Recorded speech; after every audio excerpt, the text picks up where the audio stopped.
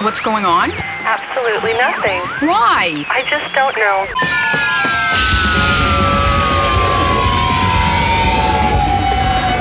Real time on CBC Stereo, and we are connecting the entire country.